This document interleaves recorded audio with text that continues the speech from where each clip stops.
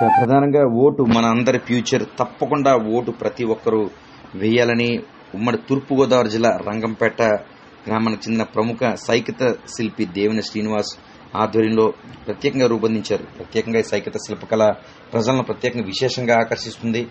ప్రస్తుతం శ్రీనివాస్ కుమార్తెలు సోహిత ధన్యత ఈ విధంగా ప్రత్యేకంగా ఈ ఓటు మరికొన్ని రోజుల్లో ఎలక్షన్ ఉన్న నేపథ్యంలో ఓటు హక్కు అనేది ప్రధానమని. కాబట్టి ప్రతి ఒక్కరూ వజ్రాయుధంగా వంటి ఓటు హక్కును ప్రతి ఒక్కరూ సద్వినియోగం చేసుకోవాలని ప్రజలకు ప్రత్యేకంగా వివరిస్తూ ఈ సైకితాన్ని తీర్చిదిద్ద సందర్భంగా వారే ప్రత్యేక ఏదైతే ఈ వీడియో ద్వారా భారతదేశంలో ఉన్న ప్రతి ఒక్కరికి ఒక మెసేజ్ అందజేశారు.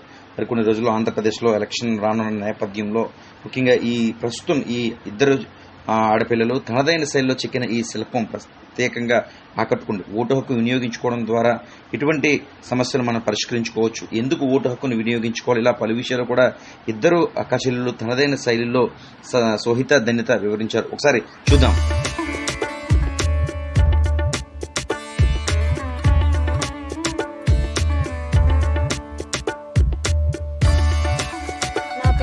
పేరు మా చెల్లి పేరు ధన్యత. మాది తూర్పు గోదావరి జిల్లా రంగంపేట. ప్రస్తుతం దేశవ్యాప్తంగా ఎన్నికలు నిర్వహిస్తున్న సందర్భంగా your vote is your future. తప్పకుండా ఓటు వేయండి అన్న నినాదాలతో ఈ సైకిల్ శిల్పాన్ని రూపొందించాం.